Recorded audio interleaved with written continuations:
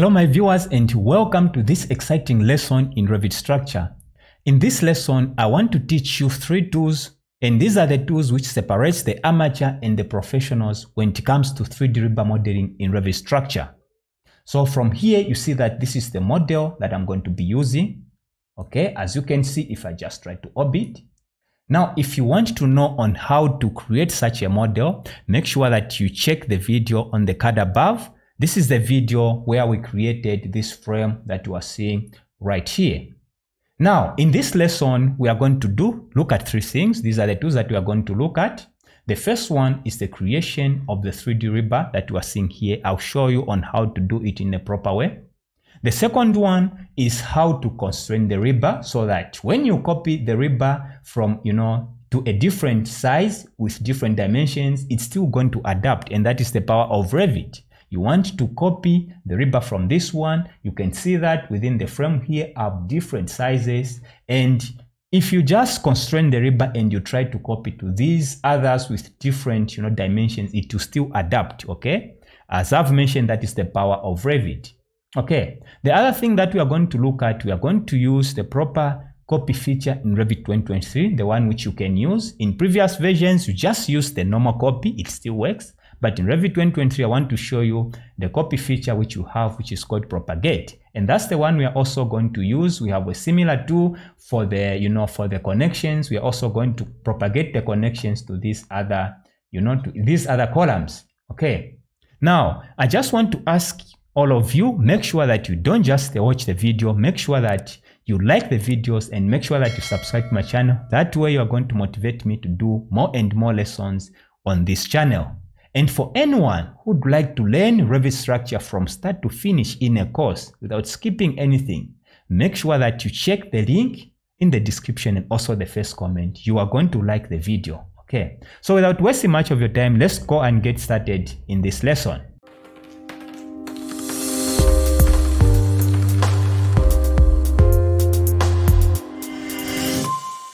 So as you can see, that is the rebar that I created. So I just want to delete everything here. So you see how we can do it. I'll start with the connection, delete there, then select the rebar like that. Then click on filter, check none, structural rebar, apply OK, and delete from my keyboard. You have to see how to do it from scratch. Okay. Now, the first thing that you need to do is to simply cut sections. If I go to level one here, that is the one I created the rebar on this one. You just create that section, that section. To create a section simple, just go to view section. I will demonstrate on this one, just the first point. Make sure that I'll just escape first of all, so that you see that I pick this one. We have building section and the detail. I'll use the building section, pick that point and that point. Okay, you can also go to the section you know if you want you can even use the detail and pick that point and that point. That's how i created you know the sections here that you are seeing okay? So we have section one and section two. I've already opened here section one is this one okay? And that is the detail that i created and section two is right here. So i'll go to section one. Let's get started with the creation of the 3d rebar okay so to create the rebar on the base here simply select on that base then rebar okay just click on ok. Then make sure that you go under the rebar shape you know browser. Make sure that you pick the shape code that you want to use. For me i'm just going to scroll up there and make sure that i pick you know this shape code right here which is shape code 21 i'll select on it and for the base i just want to use h12 so i'll pick h12 here okay so if i hover my cursor there see that i'm having the rebar like that, but I, I want to change this one to parallel to work plane so that I start with this one. If I just click the first point there, just escape, you see that I have the first bar.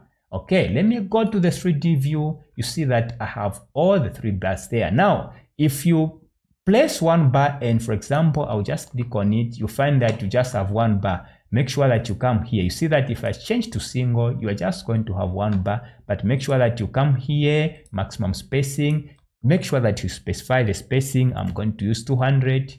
Click inside to see that I have the bars like that. I'll go back to the section there and create the bars in the perpendicular direction. I'll simply select that bar, then right click, create similar. Just cancel there. Then what i'm going to do i'll pick perpendicular this time. Okay and just move my cursor inside there as you can see. So if i just pick, click like that then modify you see that i have the perpendicular bars now this is not how i want my bars to be. And before i start changing this one i'll first of all select on this bar just select on it. Okay then i'll go to the i just want to override the hooks click there override hook length and go down here. I want to change a and c. I want to change this one maybe to maybe 200 i also want to change c to 100 also. Move my cursor inside. Then is has it changed? Click. Let me select once once again on it have I selected override? Okay, make sure that you click on override, then select there, then 100 right here, and on C, I also want to have 100. Move my cursor there, you see it's going to shorten. Okay, so this is how I want my bar to be. Now, if I select the other bar there, I can do the same and override. Make sure that you click on hook override. Okay, where is the two? Just want to check it. It's already checked. So you can see that A is 100 and also C is 100. So this is how I want to be. So if I go to the 3D view, you see that I have the bars there. Go back there and make sure that I fix this one because there's a collision there. Now, this is where you are going to use the rebar constraints, okay? So if I just select on that bar, I can just use my mouse, you know, to drag it, okay? But that's not the tool that I want to use. I can move it up and down. What I want to use are the rebar constraints. I'll click on constraints, okay? So once you do that, the starting line I want to move is this one. And the other line, I want to check the distance between this line and this line. So first pick the first line and the second line. Then you can change that dimension there. I want this one to, to be maybe negative 12. Click inside, then click on finish. You see that it's going to move up there and it's constrained. If the size changes for this base, okay, it's still going to adapt to the size of the base that you have created anywhere else. Okay, so the other thing I need to fix is to just select on that rebar and simply just drag it inside because I don't want that collision and pick that other one, move it inside just like that. So go to the 3D view, you can see that I have the base right there. I'll go back to the section and I'll simply, you know, First of all, before I do that, I'll select on that one and make sure that I constrain the other side. So I'll simply click on edit constraints. I'll pick that face and that face, I want it to be zero so that that is the cover. I want it to align it there. So I'll click on finish. Then I'll do the same on the other sides. I just want to make sure that all the sides are constrained. Make sure that you pick the center. Okay, it's at center and that face, I want it to be zero. Then click on finish click outside. I can go to the other section section 2 and make sure that everything is okay by checking that one edit constraints then pick the center and that face. I want it to align perfect there then click on finish. And also do the same on the other one. Select on it. I just want to make sure that you know everything is perfect. Select that line and that line. Zero is okay. And click on finish. So i'm sure that i've constrained you know the rebar like that. Now what i need to do is to just copy on top and it's going to go with all the constraints that i have. So i'll select on that one hold control select on that one. Then i'm just going to use you know draw axis for me to mirror and pick the center and that one. You see that it's going to be mirrored like that. If i go to the 3d view see that i have all the bars. So this is the best way of you know, modeling the rebar and also making sure that you constrain the rebar. That way, if you start copying to a different, you know, size, it will still adapt without a problem. Okay, now let's create, you know, the bars within the, the column there. I'll go back to section one. Okay, select the column there, then click on rebar. Okay, then I need to pick the shape code that I want to use for the stirrup, okay, or the link. So I'll pick shape code 52 and from here, I want to change to H8. Then if I move my cursor there, you see that at perpendicular current work plane and expand to host, it's working. So I can simply click there, then click on modify, then select on that and simply drag it up to somewhere there and click. Okay, so if I go to the 3D view, you see that I have the bars and the colors are perfectly applied. I'll go back to section one and you know, you know, create or model the longitudinal bars. I'll pick the column there, then the rebar. I'm just going to pick the shape code that I want. I want to use shape code zero. Then for this one, I want to use H16. Okay. Then I'll use the sketch. Once you pick on the sketch, pick on the column, you are in the sketch mode, then I can simply click or start it from here then click the bottom up to somewhere here. Then in that direction i just want to go by maybe 600 enter escape cancel and then go up there. And i want to start it from there. Maybe i just want to have even 100 okay then enter. Then click on finish. Okay you see that you have the bar right there and modify. Let me check it in the 3d view. You see that that is just one bar. So I can even select it from here and you know change it to fixed number and I want to maybe three is okay I'll leave it click outside you see that you have the three bars okay. I'll go back to the section and simply mirror it on the other side but before I do that I can even you know constrain this one that is a good practice okay. Make sure that you select on that bar again click on edit constraint then from that center maybe to to which one? Maybe to to that one. I have two lines. I'm happy where it is so i'll simply click on finish. Then i've constrained it. I've fixed it between that line and that line. Click outside. Okay. If i want i can even constrain it on top. Okay. Then edit constraints. Then pick that line and that line and finish. Okay. Click outside. I can do the same on the other side. Okay. But i think it's adequately constrained. I'll pick that one and I want it to be where it is and click on finish. Okay, then I can select on that bar and just pick, you know, that mirror tool and click there. And you see that it's on the other side. So if I go to the 3D view there, you see that I have all the bars and everything is there. So this is how you are going to, you know, to make sure that you model your 3D rebar and make sure that you constrain.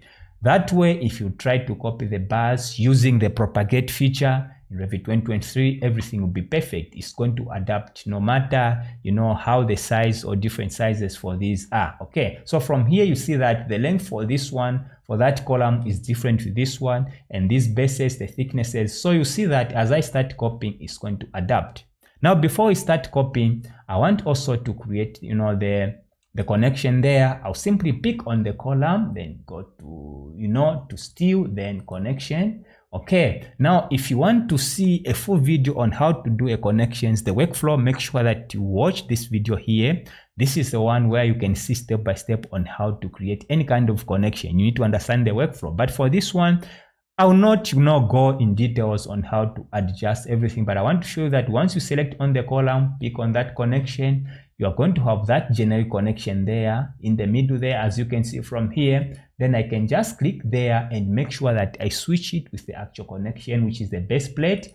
I'll select on it and click outside. You can see the connection is here. Make sure that you are just at fine level of detail. If you don't see the connection then it will appear. Okay. So we are done with everything here. Now let's start the propagate feature okay to propagate your connection just select on the connection right click then you have the propagate connection right here. So you see from here that it you, you need to give it a bit of time. As you can see it doesn't take long. I've propagated all the connections there on those as you can see all the connections are right here. So in revit 2023 and before i go to revit 2023 let me show you that in revit 2022 and previous old versions you are still going to copy your connections and all the features that I've explained here are there in Revit 2022 and the previous versions except for the propagate feature for the rebar. So how you are going to copy the reinforcement in the previous versions is to simply make sure that you select the connections like that, then make sure that you filter, check none, and pick the structural rebar, apply OK.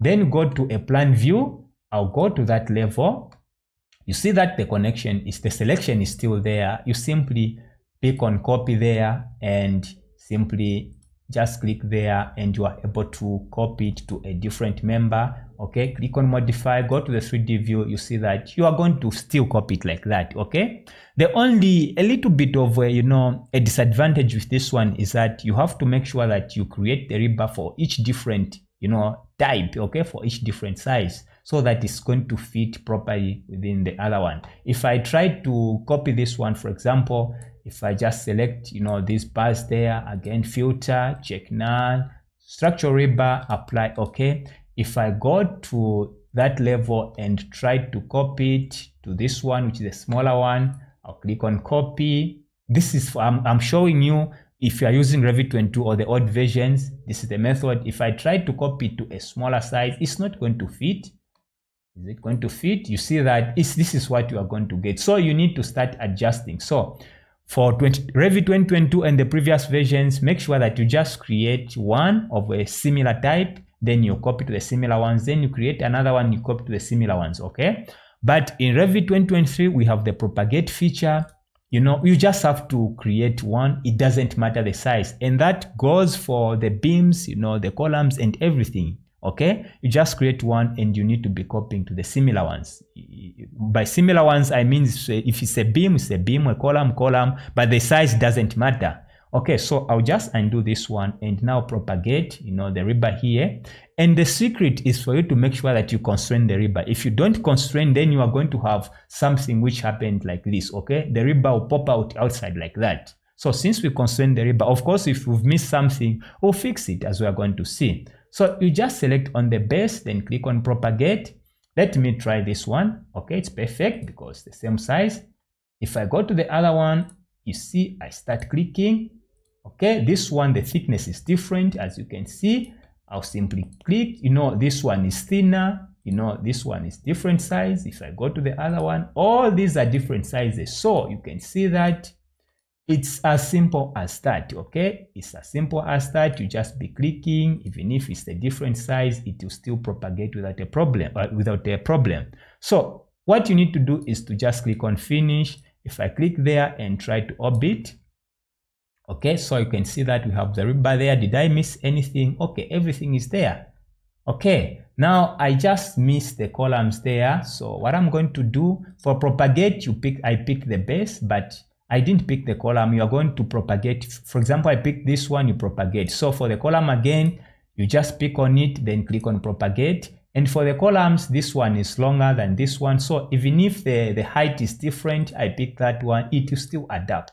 And the secret is the rebar constraint. So that's how professionals do it. If you're an amateur, you will not pro, you know constrain the rebar and you are going to have a lot of challenges or you know? So make sure that you constrain your rebar and once you start doing this it will be enough. You can finish modeling in a matter of seconds and you know this is a model you know everything is there and you can start creating your schedules you know detailing. So Revit has now become very, very powerful and I encourage you to make sure that if you're using AutoCAD, slowly start moving to Revit because Revit is the future when it comes to, you know, to modeling and detailing. So as you can see, everything is there. I have the rebar, the colors are there everywhere.